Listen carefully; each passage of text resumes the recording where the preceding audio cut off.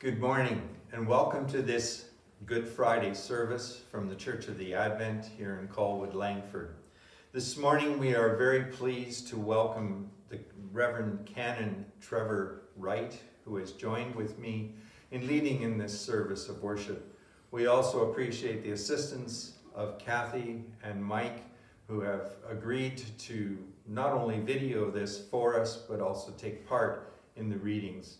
We also thank our videographer, our, our video editor, Bill, for putting this together. Our service will begin and will end very abruptly, so may I say to you, good day and may God bless. Welcome to our Good Friday remembrance of our Lord's Passion. Let us pray. All we like sheep have gone astray. We have turned everyone to his own way. And the Lord has laid on him the iniquity of us all. Christ the Lord became obedient unto death. Even death on a cross. Almighty God, we have sinned in thought and word and deed. We have not loved you with our whole heart. We have not loved our neighbors as ourselves. We pray you of your mercy Forgive us all that is past, and grant that we may serve you in newness of life, to the glory of your name. Amen. The collect for today. The Lord be with you. And also with you. Let us pray. Almighty God, look graciously, we pray, on all this your family, for whom our Lord Jesus Christ was willing to be betrayed and given into the hands of sinners, and to suffer death upon the cross, who now lives and reigns with you in the Holy Spirit, one God, now and forever. Amen. Amen. The psalm appointed for today is Psalm 22.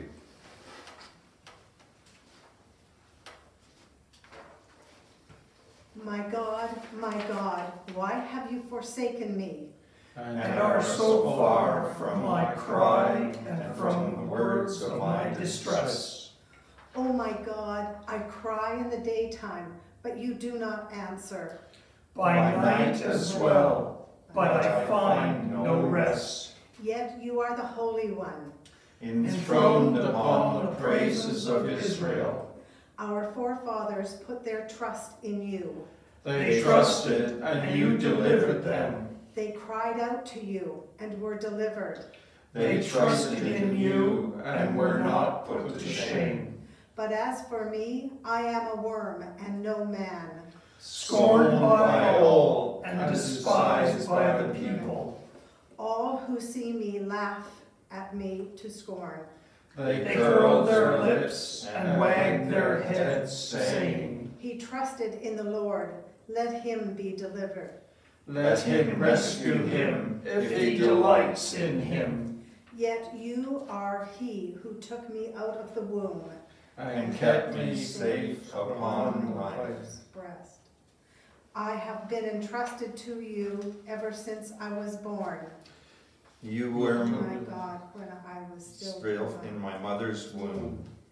Be not far from me, for trouble is near.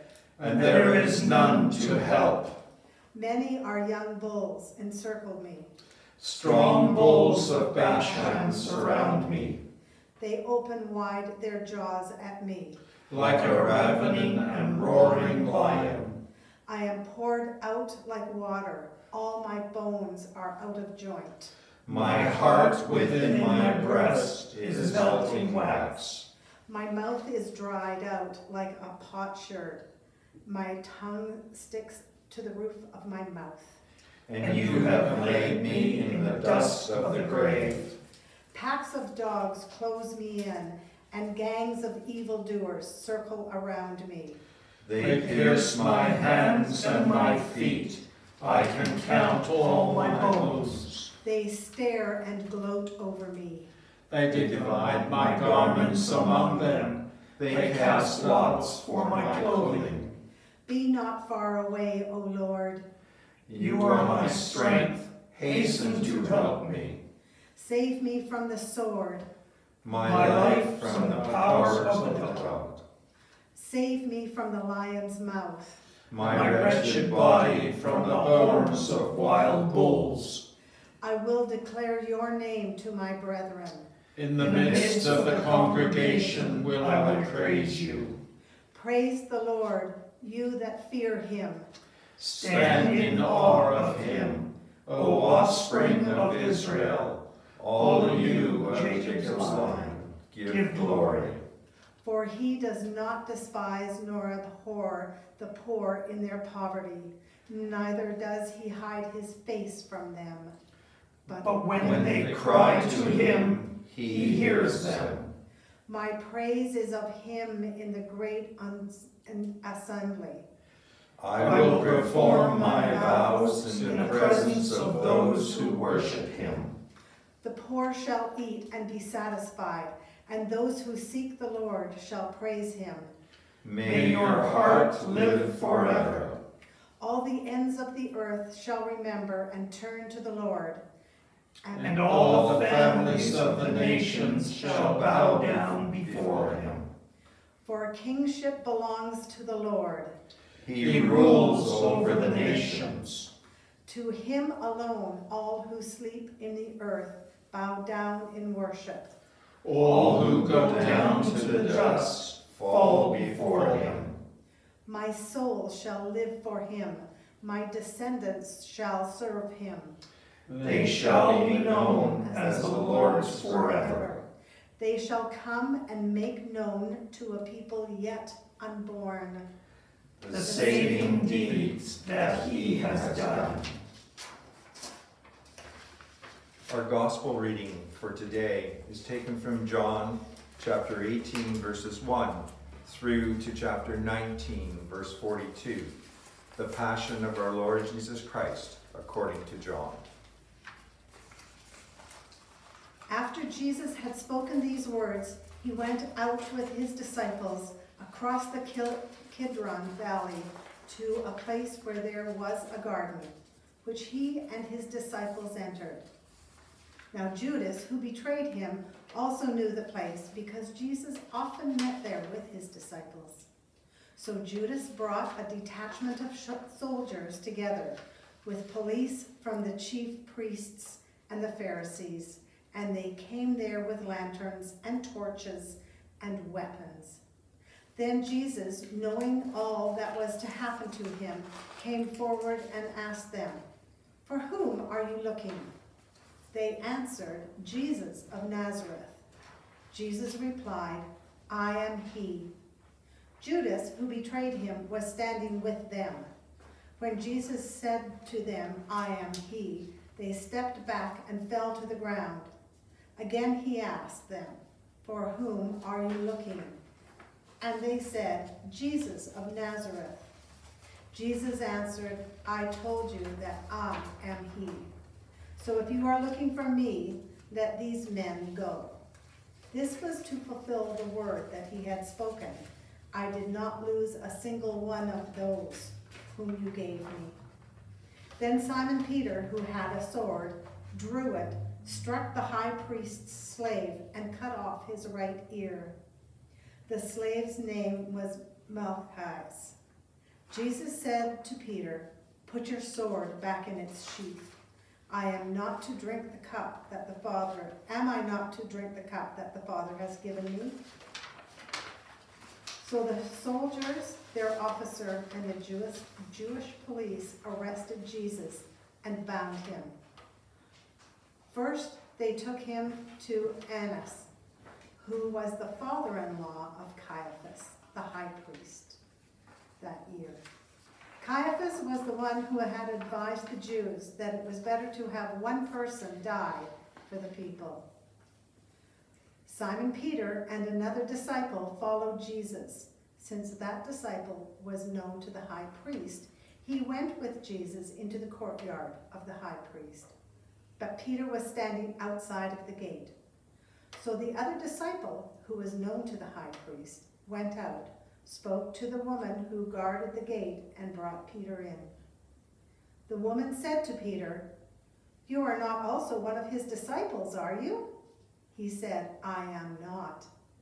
Now the slaves and the police had made a charcoal fire because it was cold, and they were standing around it and warming themselves. Peter also was standing with them and warmed himself. Then the high priest questioned Jesus about his disciples and about his teaching.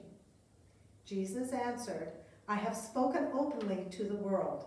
I have always taught in synagogues and in the temple, where all the Jews come together. I have said nothing in secret. Why do you ask me? Ask those who heard what I said to them. They know what I said. When he had said this, one of the police standing nearby struck Jesus in the face, saying, Is that how you answer the high priest? Jesus answered, If I have spoken wrongly, testify to the wrong. But if I have spoken rightly, why do you strike me? Then Annas sent him bound to Caiaphas, the high priest. Now Simon Peter was standing and warming himself. They asked him, You are not also one of dis his disciples, are you? He denied it and said, I am not. One of the slaves of the high priest, a relative of the man whose ear Peter had cut off, asked him, Did I not see you in the garden with him? Again, Peter denied it, and at that moment the cock crowed. Then they took Jesus from Caiaphas to Pilate's headquarters. It was early in the morning. They themselves did not enter the headquarters so as to avoid ritual defilement and to be able to eat the Passover. So Pilate went out to them and said, What accusation do you bring against this man? They answered, If this man were not a criminal, we would not have handed him over to you. Pilate said to them, Take him yourselves and judge him according to your law. The Jews replied, We are not permitted to put anyone to death. This was to fulfill what Jesus had said when he indicated the kind of death he was to die. Then Pilate entered the headquarters again, summoned Jesus, and asked him, Are you the king of the Jews? Jesus answered, Do you ask this on your own, or did others tell you about me? Pilate replied, Am I not a Jew? Am I? Your own nation and the chief priests have handed you over to me. What have you done? Jesus answered, My kingdom is not from this world. If my kingdom were from this world, my followers would be fighting to keep me from being handed over to the Jews. But as it is, my kingdom is not from here. Pilate asked him, So you are a king? Jesus answered, You say that I am a king. For this I was born, and for this I came into the world, to testify to the truth. Everyone who belongs to the truth listens to my voice. Pilate asked him, What is truth? After he said this, he went out to the Jews again and told them, I find no case against him that you have a custom that I release someone for you for at the Passover. Do you want me to release for you the King of the Jews?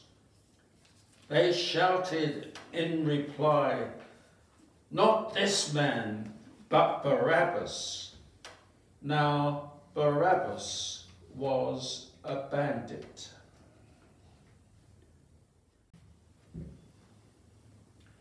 Then Pilate took Jesus and had him flogged. And the soldiers wove a crown of thorns and put it on his head. And they dressed him in a purple robe. They kept coming up to him, saying, Hail, King of the Jews! and striking him on the face. Pilate went out again and said to them, Look, I am bringing him out to you to let you know that I find no case against him.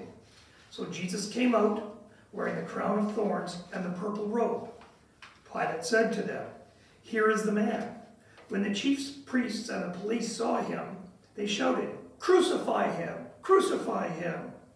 Pilate said to them, Take him yourselves and crucify him. I find no case against him. The Jews answered him, We have a law, and according to that law, he ought to die, because he is claimed to be the Son of God. Now, when Pilate heard this, he was more afraid than ever. He entered his headquarters again and asked Jesus, Where are you from? But Jesus gave him no answer. Pilate therefore said to him, Do you refuse to speak to me? Do you not know that I have the power to release you and the power to crucify you? Jesus answered him, You would have no power over me unless it had been given to you from above. Therefore, the one who handed me over to you is guilty of a greater sin. From then on, Pilate tried to release him, but the Jews cried out, If you release this man, you are no friend of the emperor. Everyone who claims to be a king sets himself against the emperor. When Pilate heard those words, he brought Jesus outside and sat on the judge's bench at a place called the Stone Pavement, or in Hebrew, Gabbatha. Now it was the day of preparation for the Passover, and it was about noon. He said to the Jews, Here is your king. They cried out, Away with him! Away with him! Crucify him! Pilate asked them, Shall I crucify your king?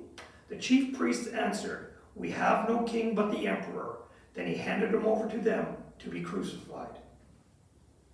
So they took Jesus, and carrying the cross by himself, he went to what is called the place of the skull, which in Hebrew is called Golgotha.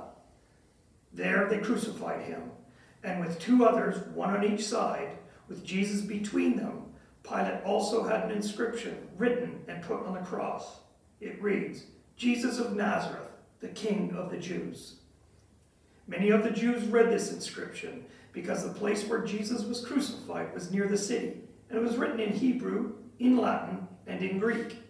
Then the chief priests of the Jews said to Pilate, Do not write the King of the Jews. But this man said, I am King of the Jews. Pilate answered, What I have written, I have written. When the soldiers had crucified Jesus, they took his clothes and divided them into four parts, one for each soldier. They also took his tunic. Now the tunic was seamless, woven in one piece from the top. They said to one another, Let us not tear it, but cast lots for it to see who will get it. This was to fulfill what Scripture says. They divided my clothes among themselves, and for my clothing they cast lots. And that is what the soldiers did. Meanwhile, standing near the cross of Jesus were his mother and his mother's sister, Mary the wife of Clopas, and Mary Magdalene.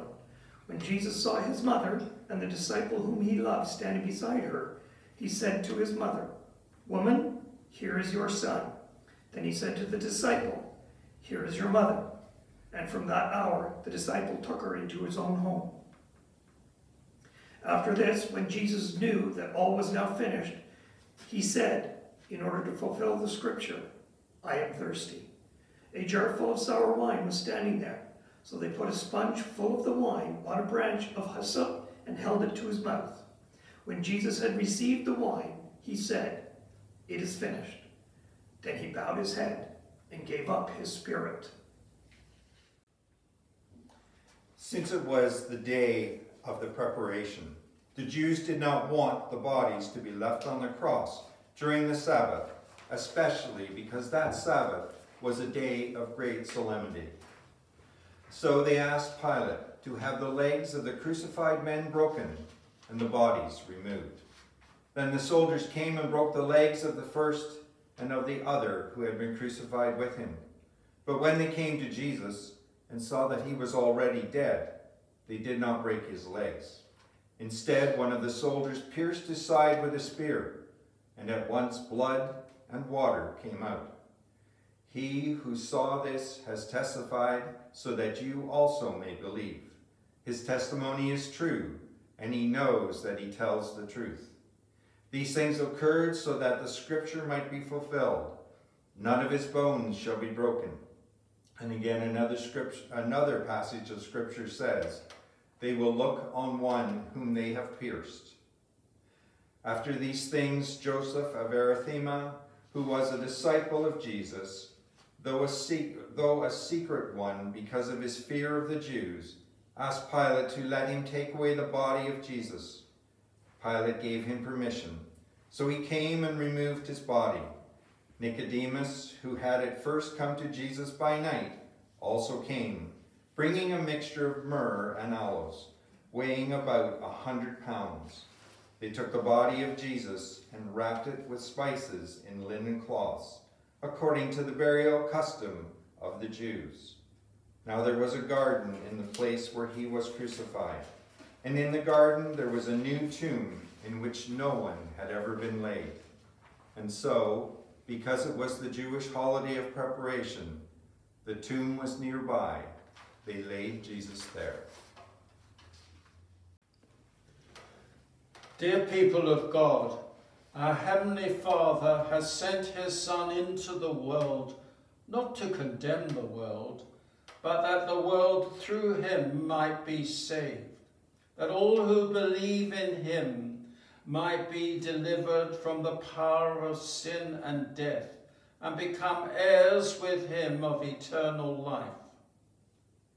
Let us pray for the one holy Catholic and Apostolic Church of Christ throughout the world, for its unity or in witness and service, for all bishops and other ministers and the people whom they serve, for Anna, our bishop, and all the people of this diocese, for all Christians in this community, for those about to be baptized, that the Lord will confirm his church in faith, increase it in love, and preserve it in peace. Almighty and everlasting God, by your Spirit the whole body of your faithful people is governed and sanctified.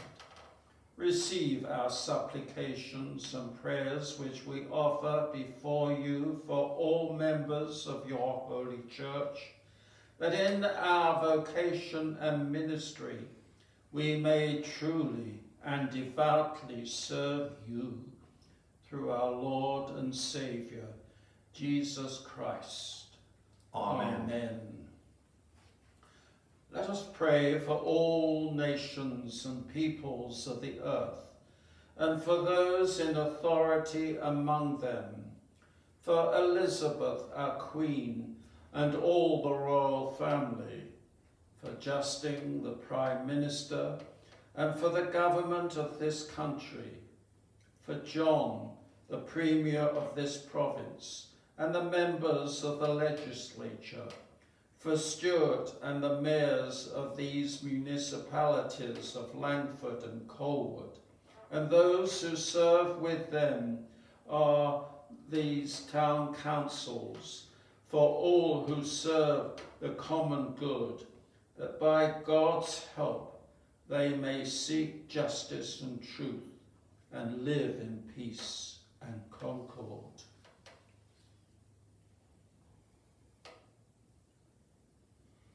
Almighty God, kindle, we pray, in every heart the true love of peace, and guide with your wisdom those who take counsel for the nations of the earth, that justice and peace may increase until the earth is filled with the knowledge of your love through Jesus Christ our Lord. Amen. Amen. Let us pray for all who suffer and are afflicted in body or in mind, for the hungry and homeless, the destitute and the oppressed, and all who suffer persecution or prejudice, for the sick, the wounded, and the handicapped, for those in loneliness, fear, and anguish, for those who face temptation, doubt, and despair, for the sorrowful and bereaved, for prisoners and captives, and those in mortal danger, that God in his mercy will comfort and relieve them, and grant them the knowledge of his love, and stir in us the will and patience to minister to their needs. Gracious God, the comfort of all who sorrow, the strength of all who suffer, hear the cry of those in misery and need. In their afflictions, show them your mercy, and give us, we pray, the strength to serve them for the sake of him who suffered for us, your Son, Jesus Christ, our Lord. Amen. Amen.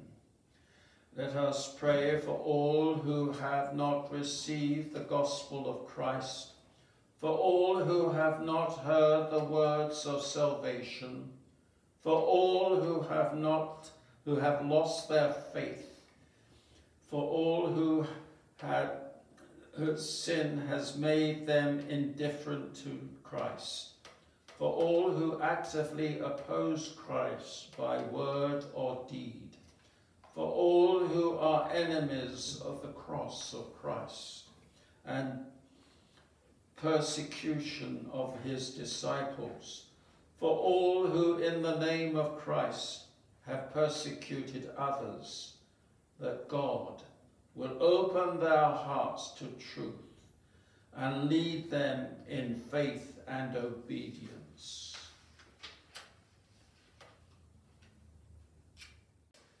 Merciful God, creator of the peoples of the earth and lover of all souls, have compassion on all who do not know you, as you are revealed in your Son, Jesus Christ. Let your gospel be preached with grace and power to those who have not heard it.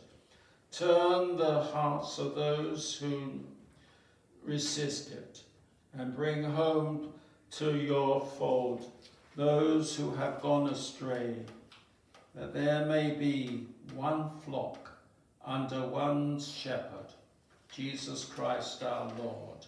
Amen. Amen. Let us commit ourselves to God and pray for the grace of his holy life, uh, for a holy life, that with all who have departed this life and have died in the peace of Christ, and those whose faith is known to God alone, we may be accounted worthy to enter the fullness of joy of our Lord and receive the crown of life in the day of resurrection. O God, of unchangeable power and eternal light, look favourably on your whole church, that wonderful and sacred mystery, by the effectual working of your providence, carry out in tranquility the plan of salvation. Let the whole world see and know that things which were cast down are being raised up, and things which have grown old are being made new, and that all things are being brought to their perfection by him through whom all things were made, your Son, Jesus Christ our Lord, who lives and reigns with you in the unity of the Holy Spirit, one God, for ever and ever. Amen. Amen. This is the wood of the cross on which hung the Savior of the world. Come, let us worship.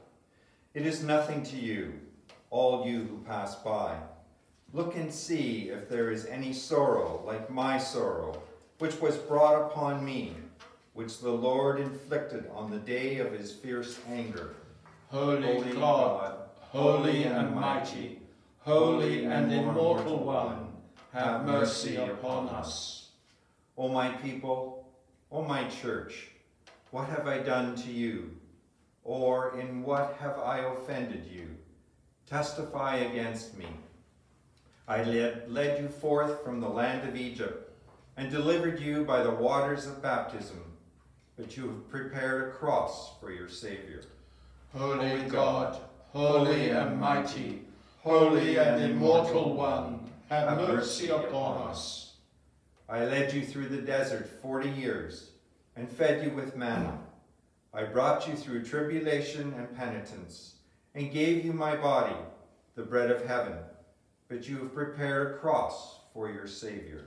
Holy, Holy God, God, holy and mighty, holy and immortal one, have mercy upon us. What more could I have done for you that I have not done? I planted you. I chose my chosen and fairest vineyard. I made you the branches of my vine. But when I was thirsty, you gave me vinegar to drink, and pierced with a spear the side of your Savior. Holy, Holy God, God, holy and mighty, holy and immortal one, have mercy upon us. I went before you in a pillar of cloud, and you have led me to the judgment hall of Pilate. I scourged your enemies and brought you to a land of freedom, but you have scourged, mocked, and beaten me. I gave you the water of salvation from the rock, but you have given me gall and left me to thirst. Holy Holy God, God, holy and mighty, holy and immortal one, have mercy upon us. I gave you a royal scepter and bestowed the keys of the kingdom. But you have given me a crown of thorns. I raised you on high with great power, but you have hanged me on the cross. Holy God, holy and mighty, holy and immortal one, have mercy upon us. My peace I gave, which the world cannot give, and washed your feet as a sign of my love. But you draw the sword to strike in my name, and seek high places in my kingdom. I offered you my body and blood, but you scatter and deny and abandon me. Holy God, holy and mighty, holy and immortal one, have mercy upon us. I sent the Spirit of truth to guide you, and you close your hearts to the counselor. I pray that all may be as one with the Father and me, but you continue to quarrel and divide. I call you to go and to bring forth fruit, but you cast lots for my clothing. Holy God, holy and mighty, holy and immortal one, have mercy upon us. I came to you as the least of your brothers and sisters. I was hungry, and you gave me no food. I was thirsty, and you gave me no drink. I was a stranger, and you did not welcome me. Naked, and you did not clothe me. Sick and in prison, and you did not visit me. Holy God, holy and mighty, holy and immortal one, have mercy upon us. We glory in your cross, O Lord, and praise and glory your, your holy resurrection. For the virtue of your cross, joy has come to the whole world. May God be merciful to us and bless us. Show us the light of his countenance and come to us. Let your ways be known upon earth, your saving health among all nations. Let the peoples praise you, O God. Let all the peoples praise you. We, glory in your cross, O Lord, and praise and glorify your holy resurrection. For by the virtue of your cross, joy has come to the whole world. O Saviour of the world, by your cross and precious blood, you have redeemed us. Save, Save us and help us, we humbly beseech thee, O Lord. Send down your abundant blessings, Lord, upon your people, who have devoutly recalled the death of your Son in the sure and certain hope of the resurrection. Grant them pardon, bring them comfort. May their faith grow stronger and their eternal salvation be assured. We ask this through Christ our Lord.